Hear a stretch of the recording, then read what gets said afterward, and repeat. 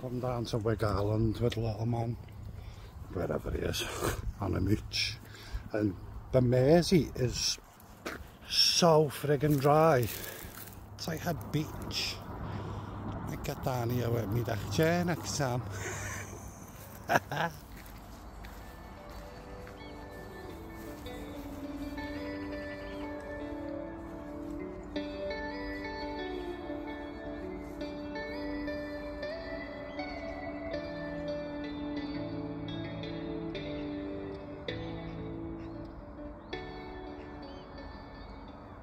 Well, one issue is all the mud that you'd have to go through and that little river of water to get to the sand, so the deck chair idea is a no-go.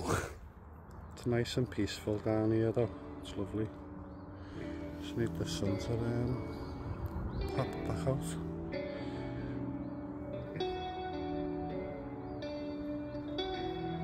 Oh, there's all the geese, me just notice.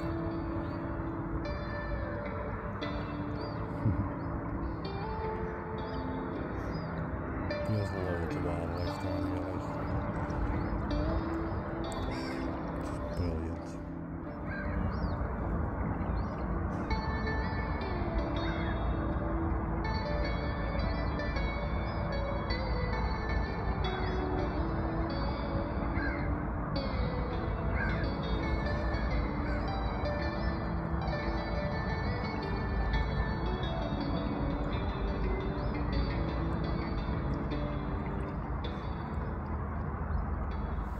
We want to walk up there. To that little area because it's more like hard stone but gotta go through all this and about two years ago when I done it it sunk in the mud so I'm not gonna bother this time. You at me little tiger.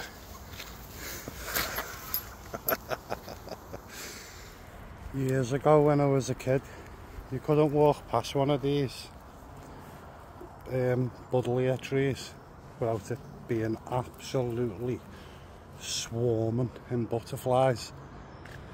Nowadays, I see nothing on them, which is a proper shame really.